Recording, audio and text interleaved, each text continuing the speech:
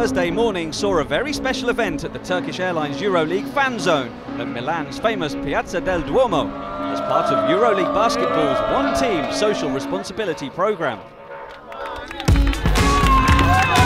20 Special Olympics athletes were joined by One Team ambassadors from each of the teams competing in the Final Four.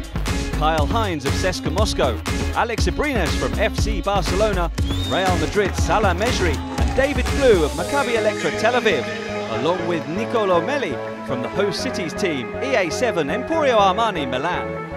It helps me a lot as a person more than as a player. Like, it gives you um, the chance to to to be in the real life, you know, like to see what takes like in the real life. And these kids, with their smile, with their attitudes, uh, show us how to approach the life.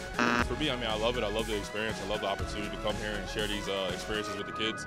The One Team program is EuroLeague Basketball's initiative to use the power of basketball to integrate communities. And a series of events to support the project will be taking place in Milan all the way through the Final Four weekend.